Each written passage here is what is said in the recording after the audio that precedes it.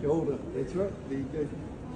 So, this is uh, Phoebe. She did the pool for you. This is Abigail, uh, daughter.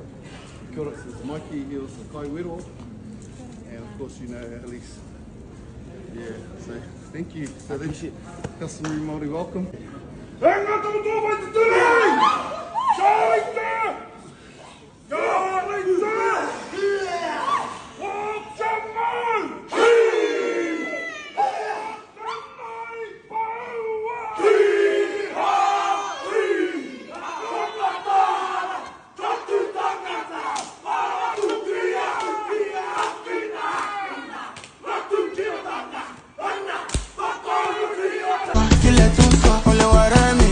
my own.